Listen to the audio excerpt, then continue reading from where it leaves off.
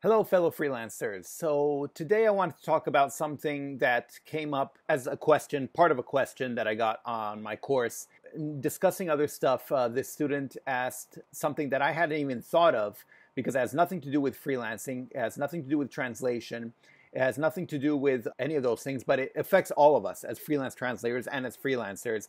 And uh, that is physical health because we more than other people spend all our time hunched over a computer doing this and uh, and this will affect all of our physical health. I'm not a doctor i'm not a physician i'm not a dietitian i'm not a nutritionist i'm not a personal trainer i'm not a coach i'm not a whatever whatever. I'm a freelance translator and that's it. So obviously i don't know i'm not an expert in any of these things but I, uh, I do have my personal experience, and uh, and so I, I, created a couple of lessons that I added to the course where I talk a bit more in detail about this because I have had issues. I've had nerve issues on my neck and all down my arm that I had to go to the doctor for, and uh, plus then later on, you know, get the usual issues, I guess, of age and stuff like that, where you start being sedentary the whole time and just gaining weight, but also the fact is many other issues start to come up. Like i feel like from being like this the whole time i start getting hunched over a lot more and uh, i'm a lot less used to physical exercise in general and stuff like that. And uh, like i said i'm obviously not a doctor or anything along those lines so i'm not qualified to talk about it. All i can talk about is my personal experience and in my personal experience the important thing is to do something about it. Now this means if obviously if you're having issues you should do something about it but if you're not having issues actually now is the time you should start looking into this and start trying to do something about it because as any Italian knows, because they, used to have all these commercials um, uh, that uh, in Italy they used to say, prevenire meglio che curare means like preventing is better than curing. I guess that's exactly what it means. And it must be an old saying. But anyway, uh, and it's very true because you prevent something now, like say going to the gym twice a week, uh, to maintain some physical activity, it'll be way cheaper, way easier, and way better for you than if you wait until you have to go to the doctor to look into something. And uh, so the main thing is to do something about it. I'd, I'd, say next time you go for, if you have no physical problems now, but you're a freelancer or you're planning on being a freelancer and that's going to be your profession, next time you go see the doctor, bring it up and just ask, you know, say, look, I don't have any issues now and I might not have one for the next few years or something, but eventually something will come up if I'm doing this all the time.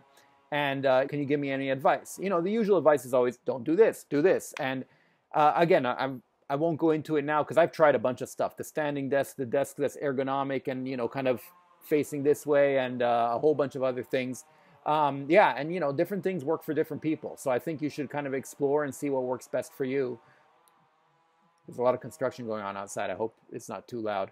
But anyway, uh, yeah, so I think um, it's something that is definitely worth looking into. Again, I'm not the most qualified person to be talking about it, but if you have any you know experience in this, feel free to let me know. I'd love to hear about it.